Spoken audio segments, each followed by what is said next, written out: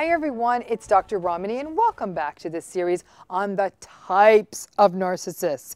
This series really is in response to the many people who wanted a deeper dive on different sorts of narcissistic types. And my goal here is not only to talk about it, but what it looks like in your close relationships, your family relationships, your professional relationships, where these come from, how do we get drawn in, and ultimately how to manage it. Today, we're going to be taking on the topic of covert narcissism. But before we get there, I ask you always please hit that subscribe button and join this wonderful community learning about narcissism. And also hit that bell and you'll get notifications each time we put out new content. So let's talk about what everybody wants to know more about covert narcissism. The concept of covert narcissism.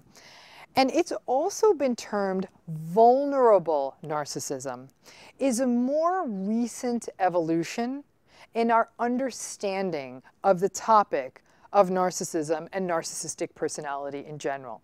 Now, in a word, if we're going to break it down, because that word covert is tricky because we often think it means hidden, these are the victimized, vulnerable, anxious, socially less skilled, sullen, and resentful narcissists. The concept of vulnerable or covert narcissism has arisen in about the last 20 to 25 years as researchers pointed out that our traditional sort of, I don't know, sort of DSM conception of narcissism is focused solely on the traditional grandiose narcissist, which we've already talked about. That sort of shiny, charismatic, confident, charming, witty, attractive textbook narcissist. But what these researchers did a beautiful job of pointing out, and these include really heavy hitters in the field, Ronningstam and Campbell, Miller, and Pincus, they all noted that this misses the boat on a big part of the clinical picture of the narcissist. It misses the group of narcissists that lack that same level of social skill and finesse, who lack the charisma, who lack the charm. And in fact, they often present as somewhat depressed, victimized, or even needy.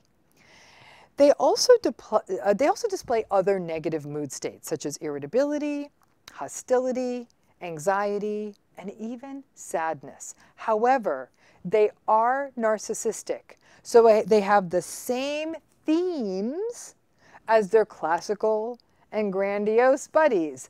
They are still grandiose, they are still arrogant, entitled, validation seeking, but it looks and it feels different when you're in their presence. For example, the grandiosity comes out in a more backdoor manner They'd say something like, you know what? I would have been the best in the business if I had just had a trust fund like him, or I just had someone giving me money for my business. Or they say things like, I'm so smart that it's a total waste of my effort to even show up at an hourly job. It's beneath me. I'm too good for that kind of simpleton work. Their entitlement also has a very victimized feel. So they may say things like, oh, I shouldn't have to take the time to take this ridiculous programming class given that the professor doesn't know what he's talking about and I can program circles around him. Honestly, I should really just get credit for the class because I'm a top flight programmer. Okay, they say that. Now their arrogance comes out as an antagonistic listing of all of the gifts they have that they believed were never recognized. And they will often, in a very contemptuous manner, dismiss the opinions and the knowledge of other people. Their validation seeking consists of a lot of sort of gloomily sharing what they believe their unseen gifts and skills and contributions are. And in fact, they are often the toxic person who sits around and says that they know better than any of the experts on any number of issues, or will constantly criticize people who attempt something, try something, take a chance, or who are aspiring to do something with their lives. It's interesting because the covert narcissists themselves will never take those risks, but they will mock people who do. Now, apparently, covert narcissists never got the memo that opportunity comes to those who seek it, and rather, they just sort of grumpily sit at home wondering why their ship never came in. These are the folks who sit at home and wait for opportunity to magically show up at their door and knock, knock, knock.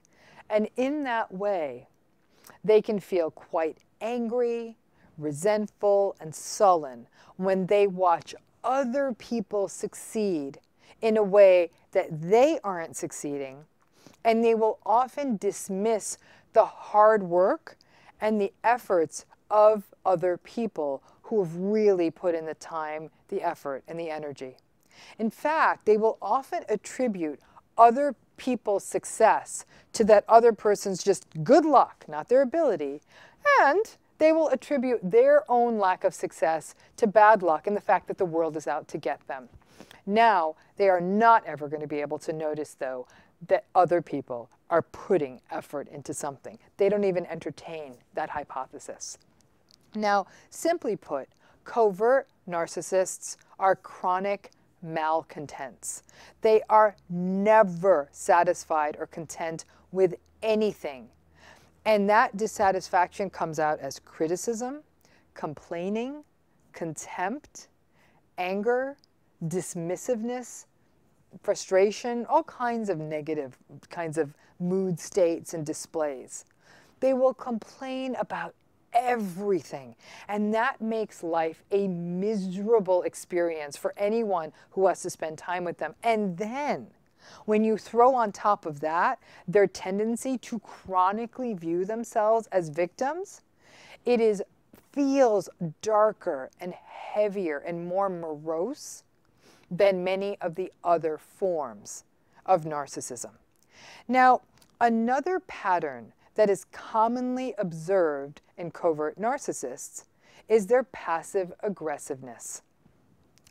Now, while their grandiose and malignant narcissistic buddies are more likely to kind of just tell you off to your face, tell you you're stupid to your face, or tell you that they that you don't know anything, the covert narcissists are more likely to do this in a sullen backdoor way. They'll say things like, "Oh, must be nice to have a family that just always bails you out.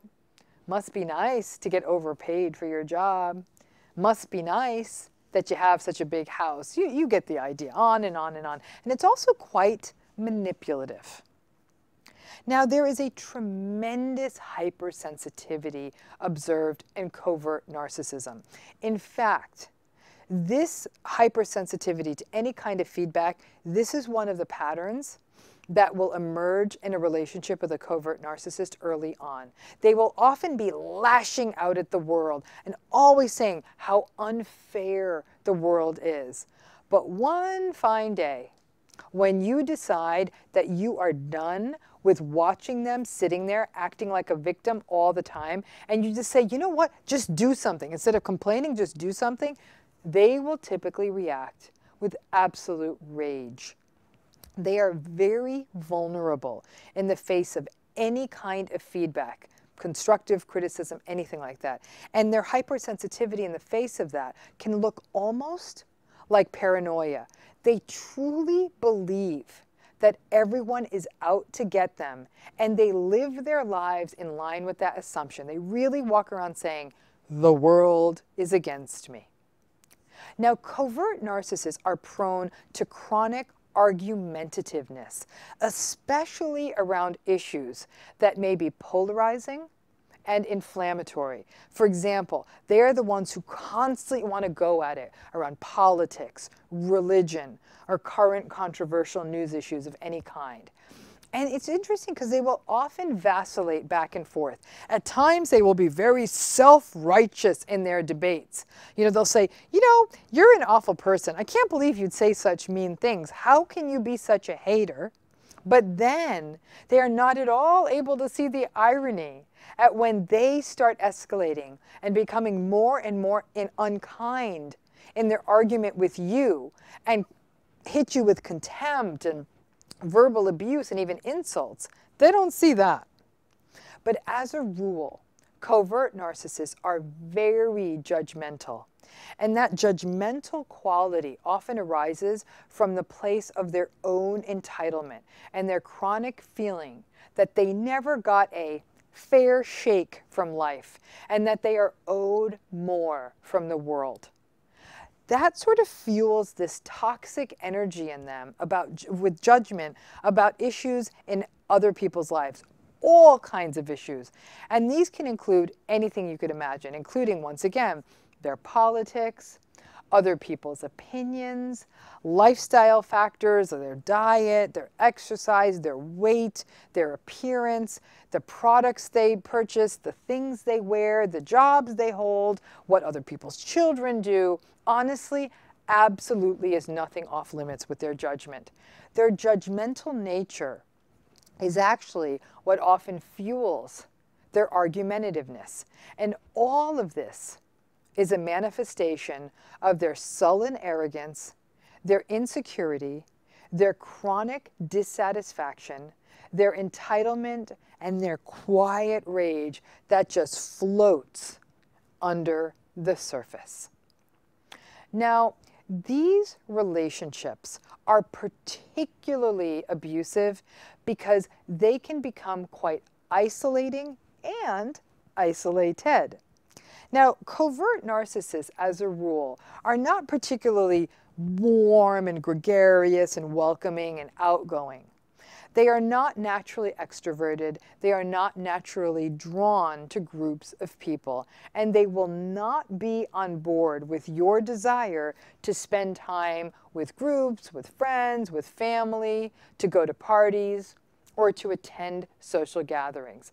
And what they do, though, is they will often speak really contemptuously of these social experiences you may want, and even use your interest in those activities or those get togethers as a way, as a manipulation to attempt to attempt to induce guilt from you and also to insult you. So they might say things like, um, why do you always want to spend time with other people? Aren't you interested Aren't sorry. Aren't you interested in our relationship? Why don't you just want to spend time with me? Oh, I get it. I guess you need lots of attention. You get off on the attention from other people. I guess you just need that to feel better about yourself. That kind of conversation, that kind of interchange with someone leaves you feeling uncomfortable, devalued, and even just having any experience in your life, the experience of going to a party or a gathering or an event, it gets diminished before you even get out the door. And God forbid you actually get them to agree to go to a social event with you. You can plan on them sitting sullen in the corner making insulting and contemptuous comments about the people that are at the gathering or the things that they are enjoying or the things they're talking about. And they will spend their evening just like a little poison creature in the corner, tossing passive aggressive barbs out about what is happening and looking so uncomfortable that you succumb to leaving the event early just to get them out of there because it's making you even more miserable looking at their misery. Now, this process can happen slowly and quietly without you realizing it. And then one day you lift your head and realize you no longer really have a social world you participate in. Just a small, an angry world that you occupy with the covert narcissist. So that really begs the question why would anyone be drawn to them? Let's face it, these are not the shiny narcissists who draw us in with their charm and charisma and confidence and all the rest of it. In fact, here you may be drawn in just because you kind of feel sorry for them, you feel bad for them. They may talk about themselves and portray themselves as a person for whom life never quite worked out the way they wanted, or they may present themselves as being very sad or anxious. People are often drawn to covert narcissists because they may want to rescue them. You may, for example, tell them that, oh God, no, you shouldn't feel that way. I see all this potential in you. And it's such a shame that the other people in your life don't see it. Like you really might say those things to them because you kind of feel bad for them. You may even put yourself in a precarious position, lending them money because they portray themselves as a victim that nobody ever gave a break to. And so you can feel like you can sweep in there and be that rescuer for them. It, it's a very big part of the manipulation of the covert narcissistic pattern, how they sort of evoke that. And it can also feel very empowering for you to think that you can rescue them. And for a moment, while they may drink up your validation, and you might say, oh, Look, I rescued them. It's Pygmalion. Look at me. Soon enough, they will find examples once again of how the world let them down and once again return to their victim identity. Covert narcissists are very contemptuous of close relationships and of the idea that they would ever need anyone. So you will often sort of feel this sense of dismissiveness from them. And when you don't do enough for them, they once again retreat to the role of being a victim. And then once again, you become one more person on a long list of people who has let them down. And complicating all of this is that most people who are in a relationship with somebody who's a covert or vulnerable narcissist often will not initially view them, or even for a long time view them, through the lens of narcissism. Instead, they're more likely to focus on the negative mood, mood symptoms. You know, they'll assume like, ah, oh, no, no, no, it's not narcissism. They're just depressed, and they show their depression by being irritable. Oh, no, no, no, they just have really low self-esteem. Empaths in particular can be quite vulnerable to covert narcissists because it plays into the idea of rescuing someone who seems as though they have been let down by life. And the empath, who often has a very kind unwillingness to walk away from someone who seems sad, will often stick around and just start throwing bad money after good while they keep trying to rescue a covert narcissist. Now, covert narcissists may also share tales of sadness, neglect, and even trauma that go back to childhood. They may have families of origin characterized by psychological abuse, unfeeling parents, experiences with significant abandonment, and trauma. They, interestingly, may share this information very early, very early in the relationship. And that can result for anyone in this kind of relationship with them in a sense of cognitive dissonance between feeling a real empathy for their history and for their pain, and then over time, a real sense of exhaustion from having to manage their ongoing sullen anger and a real sense of pain that you're enduring from their ongoing verbal and psychological abuse. Ultimately, you may find yourself making justifications and rationalizations for their bad behavior so that you don't have to deal with the guilt of letting them go. So slowly you convince yourself that it's the right thing to do to stay, or maybe it's not that bad, or uh, at least he's not cheating on me. If you've been in a relationship with a covert narcissist, you already know the drill. So gang, this is just part one of this series, and I hope it's setting the tone for what the covert narcissist is about. It's really almost manipulation through victimhood. And many of you watching this are already probably saying, uh-huh, I know those patterns. And some of you, I hope this has been a wake up to, I had no idea. Is that what this is? So stay tuned. Part two is coming out tomorrow, and we'll give you even more information about covert narcissism, come on over, subscribe to this channel, hit that subscribe button, hit that bell, get those notifications, and you'll get an update every day as we put out new episodes in this series as well as all of our other content. Bye.